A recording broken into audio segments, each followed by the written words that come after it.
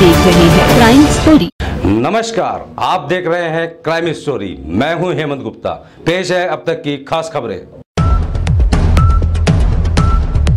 उत्तर प्रदेश के पीलीभीत में सपा के राष्ट्रीय अध्यक्ष व पूर्व मुख्यमंत्री अखिलेश यादव के आह्वान पर पीलीभीत के प्रत्येक तहसील मुख्यालय पर सपा के पदाधिकारियों द्वारा धरना प्रदर्शन किया गया। वहीं यूपी की पीलीभीत की पाँचों तहसीलों में कार्यकर्ताओं ने धरना दिया। राज्यपाल के नाम संबंधित ज्ञापन डीएम को सौंपा। मांगे जे तहसीलों से धरना दिया जा रहा है कि जो किसानों के साथ बीजेपी ने जलसलाव करा कि हम तुम्हारे कर्जे माफ़ कर देंगे, लोन माफ़ कर देंगे, जो कि पंद्रह पंद्रह लाख रुपए खाते में किसान गरीबों को दे देंगे। लोग धोखे में आकर के लोगों ने वोट दे दिया और उन लोगों का किसी का लोन, किसी का चवन्नी माफ़ हुआ, किसी का तीन रुपये माफ़ हुआ, दस रुपये माफ़ हुआ। इन्होंने सरकार ने धोखा किया किसान के साथ में।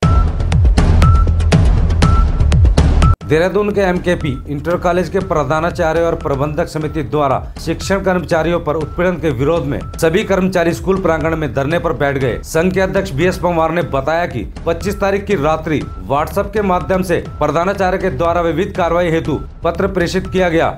जिसमें कर्मचारियों का उत्पीड़न दर्शाता है, जिससे सभी कर्मचारियों में खासा आक्रोश है। यदि प्रधानाचार्य द्वारा जल्द वार्ता के लिए नहीं बुलाया गया तो सभी कर्मचारी आमरण अनशन पर धरने पर बैठेंगे। प्रधानाचार्य और प्रबंधक के रवि से तानाशाही रवैये से बड़े परेशान है। हमने काफ़ी प्रयास किया, लेकिन प्रधानाचार्य का रवैया इतना उदासीन है कि उन्होंने शिक्षणेतर कर्मचारियों को, जो यहाँ की इकाई है उन पे जो जुर्म है, उनको कम करने के बावजूद वो ज़िले के पदाधिकारियों को नोटिस देना चाह रही है। तो इससे पूरे जनपद के पदाधिकारियों में बड़ा रोष है और जनपद के साथ साथ तो सारे प्रांत में बड़ा रोष है कि ऐसे प्रधानाचार्य जिनको कि अपने कर्मचारियों के साथ तालमेल से काम करना चाहिए था। अब जबकि आपको पता है कि निकट भविष्य में बोर्ड की परीक्षाएँ होने जा रही है बड़ा दुख है कि आज हम यहाँ पे बैठे हैं, लेकिन ये हम क्यों बैठे हैं, इनकी तानीशाही रही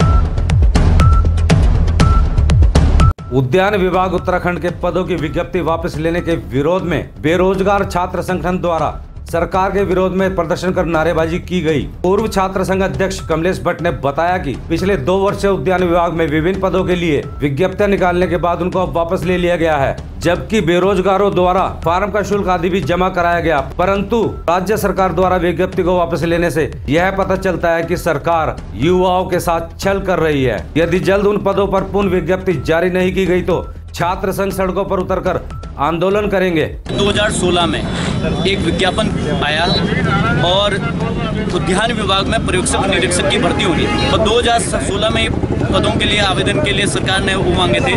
तो लगभग उत्तराखंड प्रदेश के कोने कोने से बीएससी बॉटनी इसमें शैक्षिक आहारता थी और बारह छात्रों ने जो आवेदन किया था। अधीनस्थ चयन आयोग से बात करी तो उनका कहना था कि हमें सेंटर उपलब्ध नहीं हुआ इसलिए हम परीक्षा नहीं करा पाए।